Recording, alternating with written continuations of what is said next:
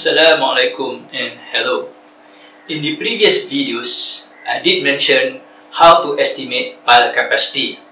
One through end bearing, second, shaft friction, and third, a combination of shaft friction and end bearing. Those are due to compressive load. In this video, in this session, I would like to talk about uplift capacity of a pile. Let's take a look at this diagram. So we have a pile and then this pile is subjected to uplift load T sub U. So based on this diagram, in order to resist the uplift load T sub U, we have W sub P acting downward as well as Q sub S also acting downward. So this W sub P represents the weight of the pile then Q sub S represents the shaft friction. Right. So this is the combination of W sub P and Q sub S acting downward in order to resist the uplift force. So if you notice here, Q sub S, the direction is downward. So don't get confused with the negative shaft friction. Negative shaft friction is due to settlement of soil. So in this case, it has nothing to do with settlement of soil. So just um, in the end indication to resist uplift load. Right.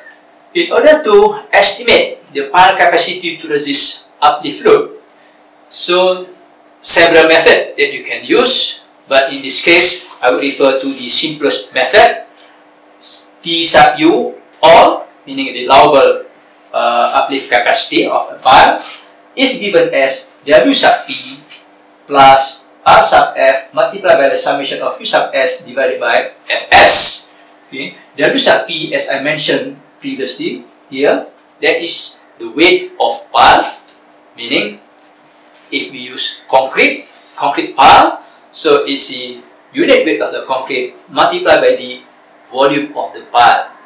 Uh, the cross-section area of the pile multiplied by the length of the pile. So we obtain the weight of the pile. And then Q sub S, shaft resistance. Shaft resistance, if you refer to previous videos, right? so uh, there are two methods depending upon the uh, soil type. If you go back to the previous video, if the pile is in sand, so the shaft friction is calculated as summation of P multiplied by delta L, sigma sub V prime, tangent delta. Whereas in clay is summation of P multiplied by delta L, alpha multiplied by C sub U. P is the perimeter of the pile, delta L is the length of the pile segment of interest, sigma sub U prime here is the effective stress at depth of interest, and then delta here is the interface friction angle between the pile and the soil. So that is for in sand, so, whereas in clay, P against is the perimeter, delta L is the length of pile segment, alpha is the adhesion factor, so you have to refer to graph in any geotechnical engineering book. Right? So uh, this the alpha value depends on the value of the undrained cohesion of the soil. So C sub U is the undrained cohesion of the clay of the soil. RF here is the reduction factor. It reached probably from 0.5 to 0.6. And Fs here is the safety factor. So reduction factor here based on previous research okay, performed by several researchers, they observed that after the installation of the pile, right, so the value of shaft friction in uplift condition is a fraction of the value of shaft friction under compression.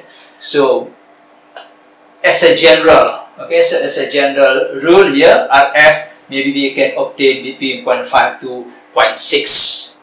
So meaning the shaft friction is reduced about half from, from under the compression condition. Okay, now let's take a look at group piles. Normally, piles are installed in groups to support load from superstructure. So let's take a look at this diagram. Let's say we have a group of pile to support structure. after the piles are installed, then a pile cap is constructed in order to distribute the load from superstructure to each individual pile. And then to make sure the pile group really efficient in supporting the load, so the pile should be spaced adequately or appropriately. Otherwise, if the piles are installed too close to each other, so the stress from the soil, uh, so from the pile to the soil will overlap. So due to this overlapping of stress between piles will reduce the efficiency of the pile group. So normally, the pile, the minimum spacing between piles should be not less than 2.5D, 2.5 multiplied by the diameter of the pile. So in practice, normally uh, the piles are spaced between 3 to 3.5D, where the, uh, the, the capital D here is the diameter, and then if you look at the diagram here, the small d represent the uh, spacing of pile center to center. Okay, when we talk about efficiency, okay, efficiency of pile group is given as this notation, right, equals to Q sub G sub U divided by summation of Q sub U, where this Q G sub U represents the ultimate load capacity of group pile, and then Q sub U here is the ultimate load capacity of individual So in order to estimate the efficiency, so we have to evaluate what Q sub GU is as well as what the summation of Q sub U is. So depending upon the type of the soil. So in sand, we have different method to estimate the pile capacity or the group pile capacity. In clay also, we have different method to calculate or to estimate the group pile capacity. Okay, let's discuss how to estimate the group pile capacity in sand. So in sand, we consider shaft friction only to estimate the pile capacity. We don't take into account the end bearing of the pile. In addition, there are two ways of estimating the uh, pile capacity.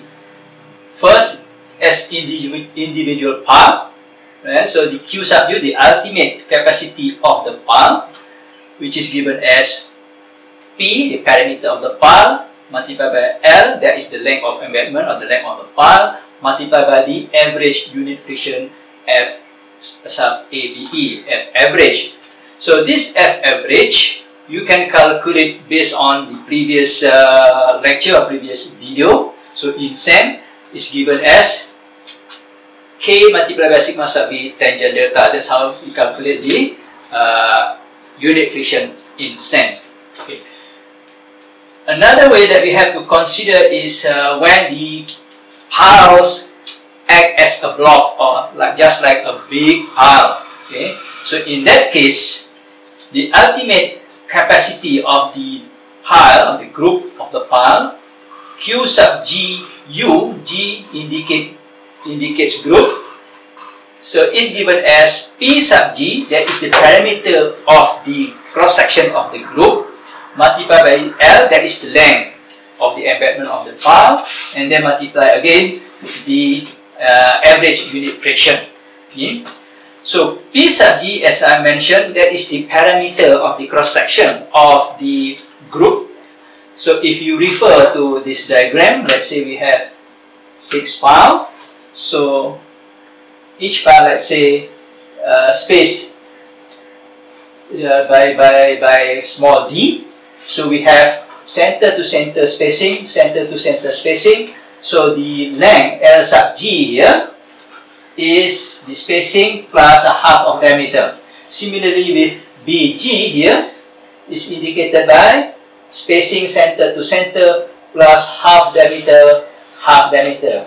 So the parameter of the group here is indicated by the dotted lines. Here is from outer outer surface to so outer face to outer face indicated by L sub G. Here the outer face to outer face is indicated by B sub G. So the parameter here is LG, BG, LG, BG. So in this equation is given as 2 multiplied by BG plus LG. So this term indicates the parameter P sub G and then L is the length of embedment and here is the average unit uh, friction. Alright, if you remember previously I mentioned about the efficiency of the group right? so which is given as Q sub GU that is the uh, group capacity divided by the summation of ultimate capacity of individual part.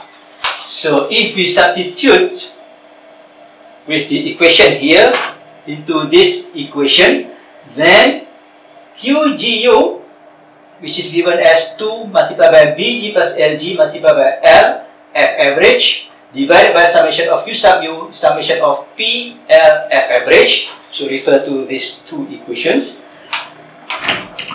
So F average, F average, we can cancel out. We have L here, L here, so cancel out. So what we have here, the equation of efficiency is expressed as 2 multiplied by Bg plus Lg divided by summation of P. Or in other words, the parameter of the cross-section of the group divided by the summation of the parameter of individual parts. So, if the value here greater than or equals to 1, then the group capacity Q sub GU equals to summation of Q sub U. Okay? If this value okay, greater or equals to 1, then the group capacity equals to summation of individual parts.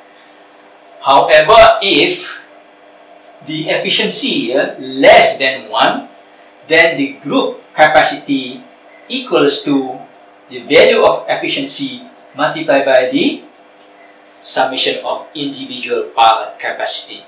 That's how we estimate the pile capacity in group in sand. So let's move on to uh, estimate the, uh, the capacity of group pile in clay. Just like in sand, we have to consider two different ways of the pile to carry loads. First is the pile act as individual piles. So if the pile acts as individual piles, then the ultimate load of the pile is given as Q sub U equals to the summation of Q sub B plus summation of Q sub S. So where Q sub B is the end bearing equals to 9 CUAB. And then the Q sub S here is the shaft friction of clay. Summation of P, that is the parameter of the pile, multiplied by delta L, the length of pile segment that we are interested in. Alpha here is the adhesion factor depending upon the value of uh, undrained cohesion of the clay at that particular depth. So adhesion factor you may refer to uh, if you refer to this book, this yellow book, you refer to page 64 figure 2. Right? And then C sub U here is the uh, undrained cohesion of the soil. Then we multiply by the number of the piles. So let's say we have 9 piles, multiply by 9. If we have 12, multiply by 12. So that is the, uh, if the pile acts as individual piles.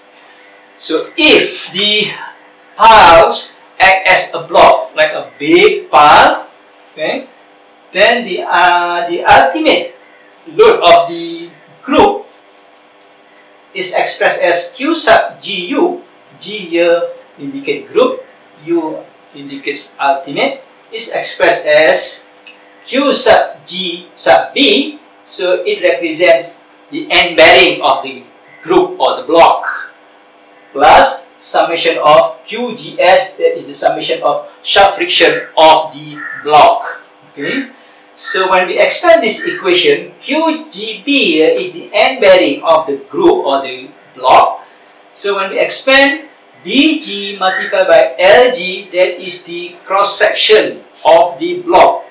BG multiplied by LG, cross section of the uh, block. Multiplied by C sub U, that is the undrained cohesion at the base of the block. And then multiplied by N sub C star, that is the bearing capacity factors.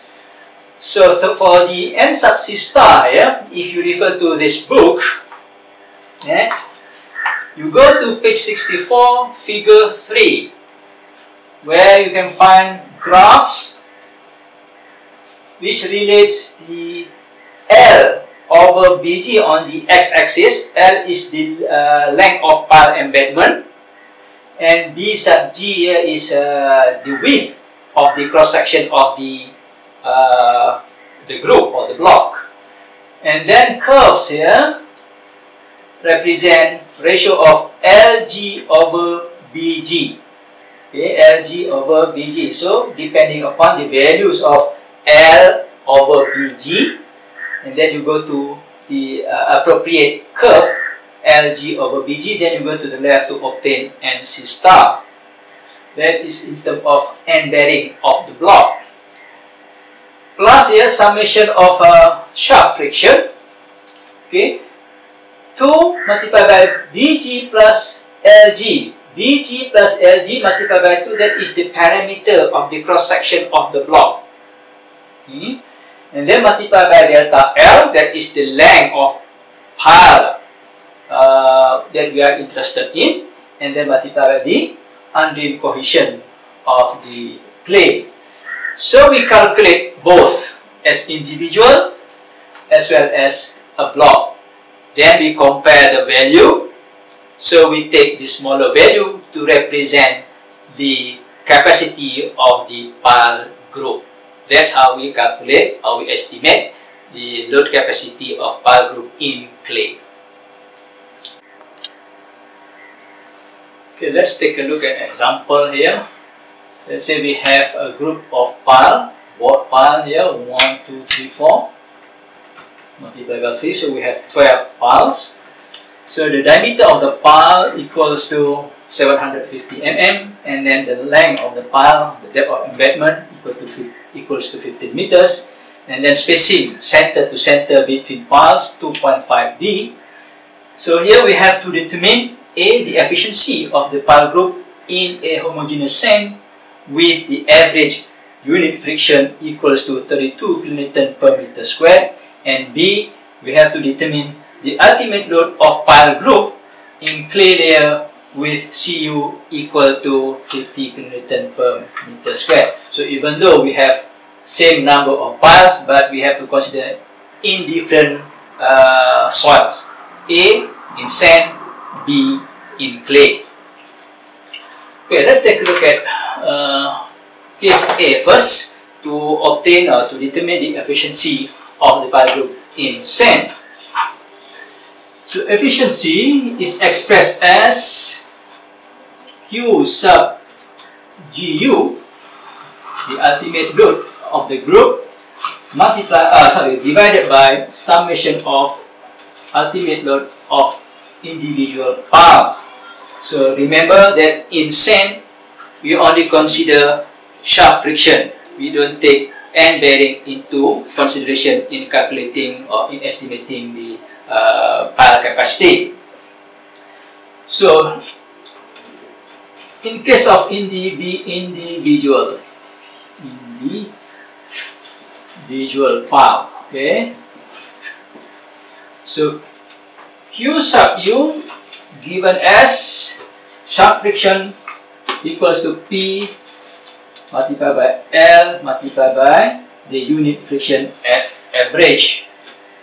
So P here, the parameter of the pile, we have bored pile, so it's circular with the diameter of 750 mm. So the perimeter equals to pi multiplied by D and then L F average. Okay. So if we have 12 piles, so we should get 12 multiplied by pi multiplied by d multiplied by L F average. Okay. Here we have pi d L F average. So 12 piles. So this group we have 12 piles. So 12 multiplied by pi d L average. So if we substitute the item here, the items with the values, then we should get the summation of uh, Q sub U equals to 13,571 kilonewton.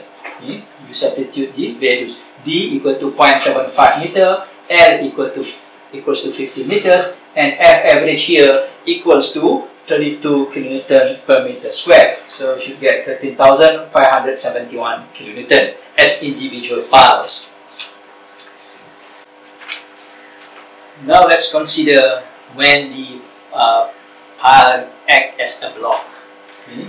As a block, Q sub G sub U is given as P sub G, that is the parameter of the cross section of the block multiplied by L, that is the length of embedment.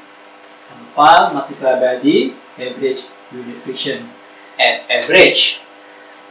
So, if you refer to this diagram, PG, PG, the parameter is noted by these dotted lines from outer face of the pile to outer face of the pile so the parameter here, let's say we have here 2.5 D spacing, 2.5 D spacing. So we have 12, uh, 2, 2.5, so becomes 5D. And then plus half diameter, half diameter. So here, the length here equals to 6D. 6D. Plus, on the horizontal direction here, we have 2.5, 2.5, 2.5. So 3 times 2.5D equals to 7, 7.5D. And then add another half D here, half D here, 7.5D plus D equals to 8D. Uh, sorry, 8.5D. 8.5D. Then, since this parameter, so we have to multiply by 2. And then L, that is the length of embedment. Okay, L multiplied by L multiplied by the unit friction F average. So 6D plus 8.5D becomes 14.5D multiplied by 2, so 29D multiplied by L multiplied by average unit friction F average.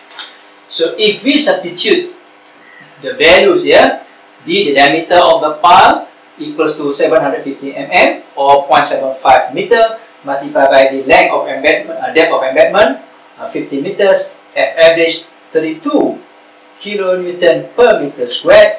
So we should get uh, 10440 kilonewton. Okay, 10,440 kilonewton. So we have calculated both individual piles and when the pile at the group act as a block. So the efficiency, which is expressed as uh, Qg sub u divided by the summation of Q sub u. So what we get here, Qg sub u 10,440 kilonewton divided by the summation of individual pile. If you refer back your notes, uh, equals to 13,571 so we should get 77% efficiency okay. with this arrangement in sand after we have calculated the individual piles as well as a block so we get the efficiency of 77% Okay, let's move on to part B where we have to estimate the ultimate load of pile group in clay.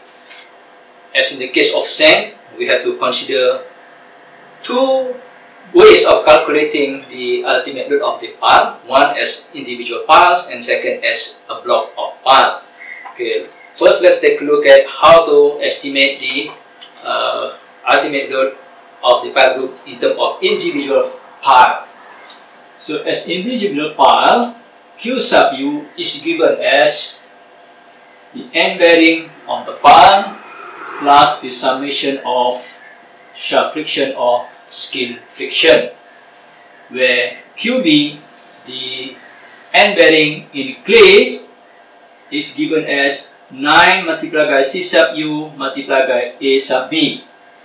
Right? 9 multiplied by the undrained cohesion and then multiply the cross section of the pile plus summation of shaft friction which is given as P multiplied by delta L multiplied by alpha C sub U. See, in, the, in this case, we use alpha method to calculate the shaft friction. Okay, the alpha or the, co the coefficient of adhesion, you can refer to this yellow book eh, to obtain uh, the coefficient or the adhesion between pile and surrounding clay, which the value of alpha depends on the value of C sub u. So in this case, we continue 9 multiplied by C sub u. C sub u is the undrained cohesion given as 50 kilonewton per meter squared multiplied by the cross section of the pile. This is a ball pile with a diameter of 750 mm. So the cross section area is pi multiplied by, oh, sorry, pi divided by 4 multiplied by the diameter squared 0.75 squared eh?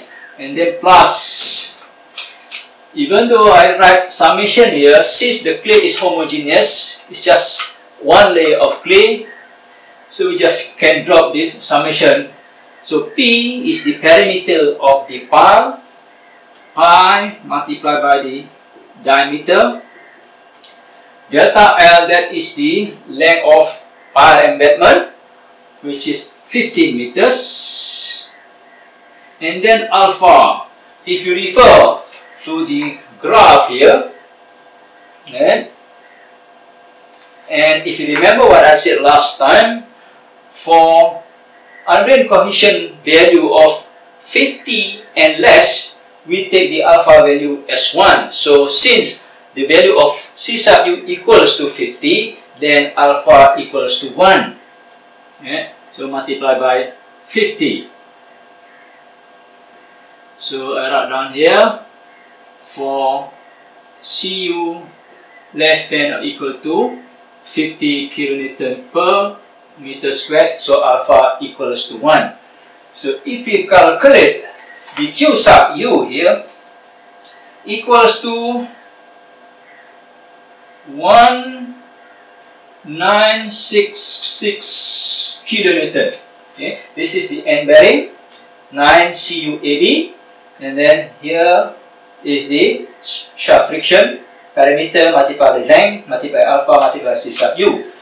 So the summation of uh, ultimate load can be carried by individual piles. Now we have 12 piles. So this value 1966 we multiply by 12 so the total Q sub U here equal to 12 multiplied by 1966 equals to 23,592 kilonewton. So this is the value of uh, ultimate load if we consider the pile as individual pile. So multiply by the number of pile which is 12. So we, have, uh, we obtain 23,592 kilonewton. Okay, let's calculate when the piles act as a block. Hmm? So when pile act as a block, QG U equals to QGB plus the summation of QGS. QGB represents the end bearing of the block and QGS represents the shaft friction of the block. So we expand this equation. The end bearing here becomes A sub G multiplied by C sub U multiplied by N C star. Okay. AG represents the cross-section area of the block or the base of the block. C sub U is the undrained cohesion and N sub C star is the uh, bearing capacity factors where you can find if you refer to this uh, yellow book is on page 64 okay page 64 figure 3 so this figure derived or produced by Jerome and H Jerome and H in 1956 right? where the on x-axis is the ratio of length of embedment of the pile divided by B sub G. If you refer to this figure this is the B face to face here. That is the BG and then on the y-axis is the NC star.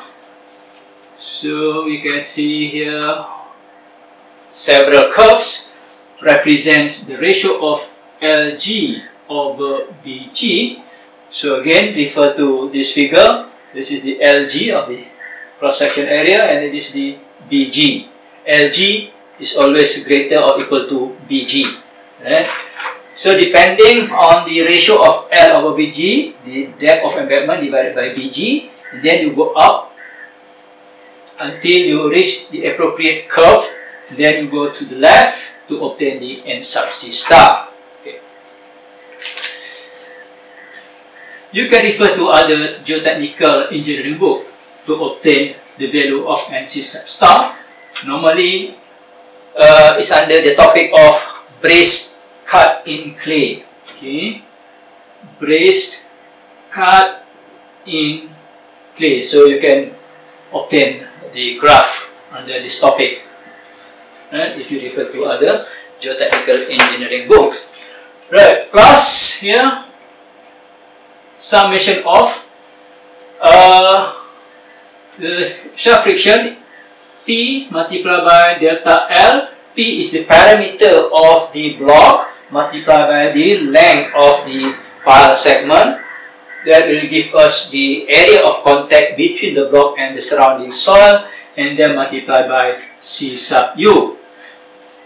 Take note here, when the piles act as a block, in calculating the shaft friction, we don't use alpha here.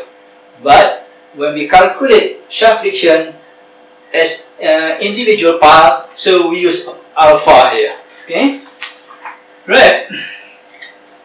So before we calculate, we obtain the n sub c star first. So in order to obtain sub c star, we have to calculate L over bg, yeah, the length of embedment divided by BG here. So L, the length of embankment equal to 15 meters.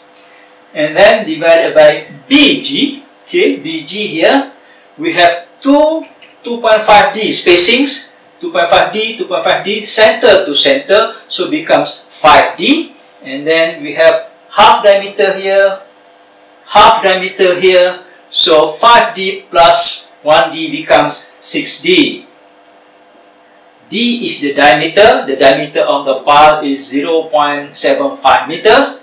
So if we substitute the value D with 0.75 meter, so we'll obtain L over BG equals to L over BG equals to 3.3. Okay. Another parameter that we have to calculate in order to get this uh, and uh, the bearing capacity factors here is the ratio of LG over BG. Yeah? LG over BG. LG here we have 1, 2, 3. 3 multiplied by 2.5D, 3 spacings. So 3 multiplied by 2.5, we obtain 7.5D plus half D here, half D here, so becomes 8.5D. So BG, so LG, sorry, LG equal to 8.5D. And then divided by BG, 6D. So D and D cancel. So 8.5 divided by 6 equals to 1.4. Okay? So based on these two values, L over BG equals to 3.3, LG over BG equals to 1.4. So if you refer to this figure, yeah, and then we should obtain approximately n sub c n sub approximately equals to 8.6 8.6 okay let's insert the values into the equation. Okay equals to AG that is the cross section area of the block. So is BG multiplied by LG and uh, C sub U equal to 50 right? C sub U equal to 50 and then N sub star equal to 8.6 plus since we have only one layer of clay so this summation you can drop becomes P is the parameter on the uh, block so it's BG plus LG multiplied by 2 okay, this is the parameter BG plus LG plus BG plus LG. So equals to BG plus LG multiplied by 2. And then delta L, that is the length of embedment, equals to 50 meters. And C sub U equal to 50 kilonewton per meter square. Okay. So BG, BG here equals to uh, 6D, LG equals to 8.5 D, so insert into this equation, right? So 8, sorry, 6D, 6D multiplied by, multiplied by 8.5D, right? Multiplied by 50, multiplied by 8.6 plus 2, BG equals to 6D plus LG 8.5D, 8.5D multiplied by 15 multiplied by 15. So if we substitute D with values of 0.75 meters, so we should get Q sub GU equals to 28,648 kilonewton. Okay, that is the uh, ultimate capacity of the piles when it acts as a block 28,648 km. So we have calculated both individual piles as well as a block. So we compare the two values, take the smaller value. So in this case, if you refer back to your notes, when the pile acts as individual, it equals to 23,592 individual 20,592 kilonewton individual block. So we take the smaller value. So in this case, the capacity of the pile or the group pile equals to 23,592 kilonewton. Okay, that's how we calculate uh, the pile capacity or the group pile capacity in clay. So, when we compare between part A and part B, one in sand, one in clay, in sand, we only consider shaft friction, whether it's a, as individual pile or as a block. We don't consider, both cases, we don't consider the end bearing, only shaft friction. Whereas in clay, we consider both end bearing and shaft friction. But in calculating the shaft friction, for individual pile, we take into consideration the alpha value, the adhesion. But when it acts as a block, we don't use alpha value in our calculations. That's all I want to mention in this session. Until we meet again, thank you.